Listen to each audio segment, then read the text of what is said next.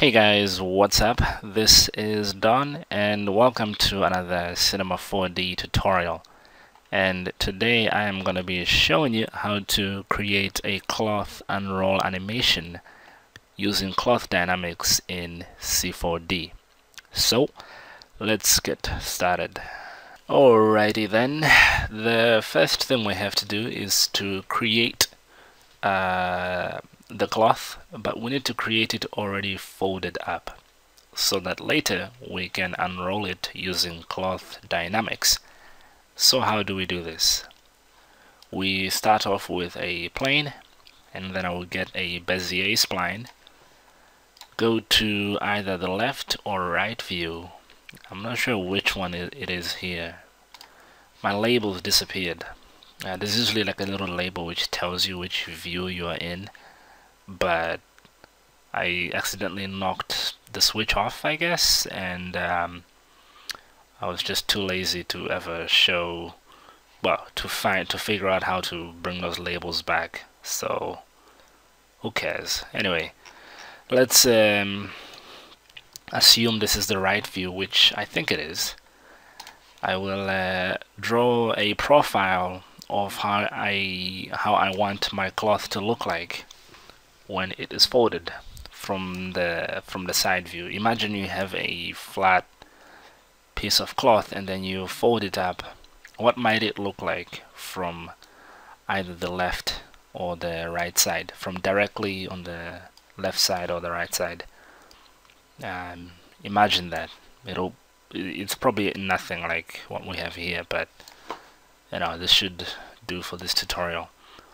I'm gonna do this uh, and draw maybe seven different uh, turns. So one two three four five six well six turns but one two three four five six seven lines. Okay. So this is where we'll be starting from. I'll press T to just scale this down and squash it up a little bit.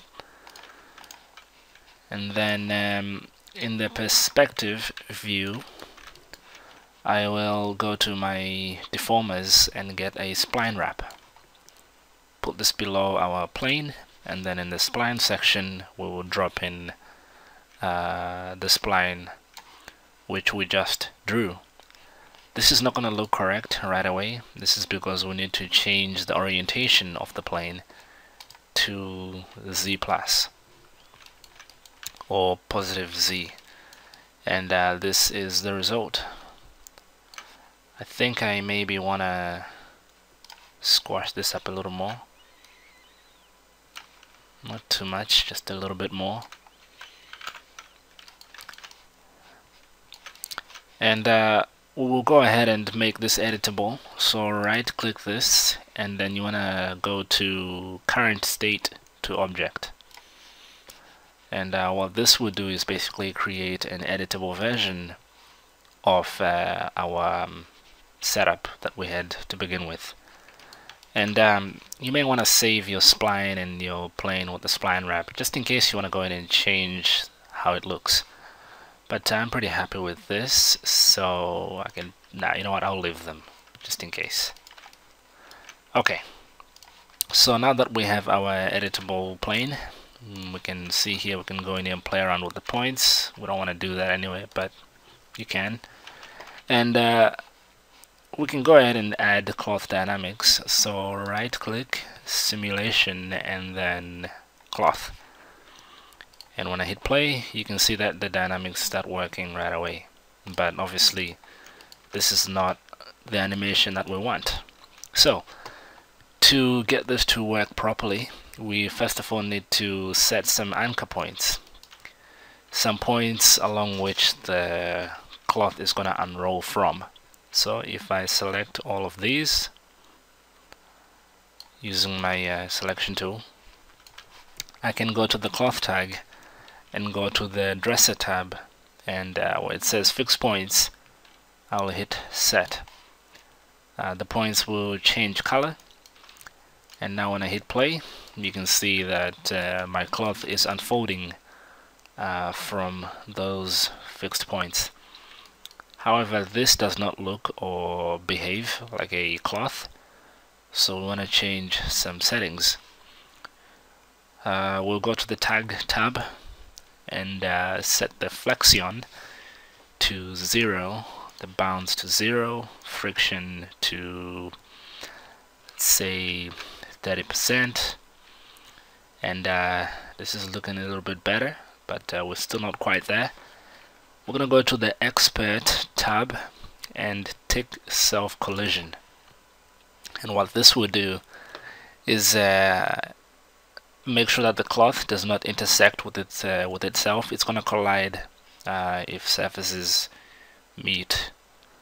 And uh, that's just a little bit more realistic. We are gonna go to the forces tab and put the global drag to 1% and uh, we can maybe play around with the wind. Uh, the global drag just uh, will either slow it yeah it'll slow it down. So if I put this to like 50 you will see that the motion is much more restricted. Uh, let's put this at 1% just a little bit. And I'm going to extend my timeline to be around 6 seconds. And then uh, wind strength I will have this as maybe 3 and you can see that it's uh, now blowing around. That's probably too much though. Let's go for just 1 uh, these values are very sensitive. I'll choose an X position, uh, wind direction X of 1, wind direction uh, Z 1 also, and Y, yeah, 1 also. And this is just going to give us some uh, nice continuous movement so this doesn't just completely stop. But, you know, if you want it to completely stop, you just skip this section. Don't add any wind. Uh, you can also play around with some of these controls, the wind, turbulence, strength, and the speed. And again, that will just uh, give you some um, some different animation. Okay, uh, there's a bit of an issue on here. You can see this this weird jumpy stuff happening. So you know this is uh, this is going to happen a lot anytime you deal with cloth. You will get some weird things like that happening. So if that does happen, you just want to go into some of your values here and just change them to a different number. So I will put my friction up to, let's say, 60. And uh, that will probably stop that problem. And uh, it's still happening. So maybe I'm to go to the iterations and maybe put this up to like 8 or something. And uh, iterations controls uh, the overall stiffness uh, of your cloth. If you right click you can click show help and uh, it gives you more information about this particular control. Okay so this is uh, looking pretty good. I'm happy with this animation. I am gonna go to my plane and add a hyperNURBS because if you look at the beginning here there's a lot of sharp edges and we don't want that. So if I go to the NURBS icon I will get hyperNURBS and drop our cloth into here. And now we have some nice curved um, edges which looks a lot better. And uh, that is the result of the unfold. And you'll notice that it just doesn't fall right away. It kinda stays bunched up. Uh, okay before I can do any rewinding I need to cache it. So calculate cache. And uh, now when I hit play you can see it's a lot more fluid and faster because it's been saved to our memory. And I can now scrub through and watch exactly how this whole thing unfolds. Right. Looking pretty good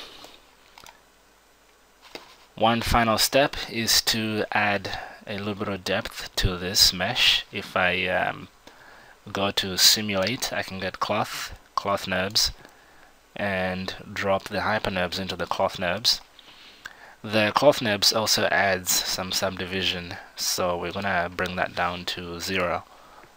And uh, the thickness is what we are interested in. We'll change this to something like 0.3 so just a little bit. And this was gonna give us just a little bit of depth to this uh, piece of cloth. So this is what it looks like now. This is what it looked like before. And uh, you know that's it. That is how you create an uh, a cloth unroll animation. You can play around with this uh, you know see what settings work for you you could uh, you know some applications for this could be you could simply have your logo here um, just a texture will do um, play around with the lighting and so on uh, maybe you're trying to make some kind of uh, war banner, uh, like a medieval themed animation with like a crest or logo on here. There's a lot of applications for this, but uh, you know, it's, it's just advice you can do whatever you want to do.